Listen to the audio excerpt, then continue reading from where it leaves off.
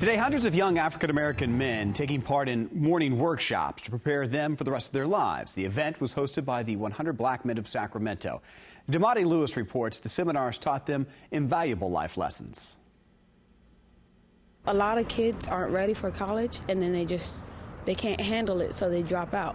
Which is why Keith Cole and hundreds of young African American men attended the 23rd annual Young Male Conference at Genesis Charter High School. It's grown, the word has gotten out all over Northern California, and it says that parents want their young men to, to have some cultural, educational enlightenment.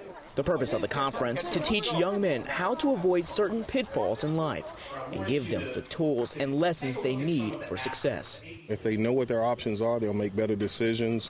So, the basics of banking what do we do with money? With seminars ranging from financial literacy. If you don't have financial literacy, the bank, government, whoever it is, can go in your bank account and take your money. Know who you're hanging out with, right?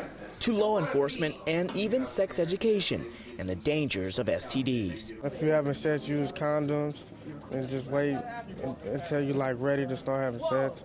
Students took detailed notes and more importantly left each class with a better understanding of the world around them. I learned what you were supposed to do with a debit card and how to save your money wisely. A life lesson anyone can take to the bank.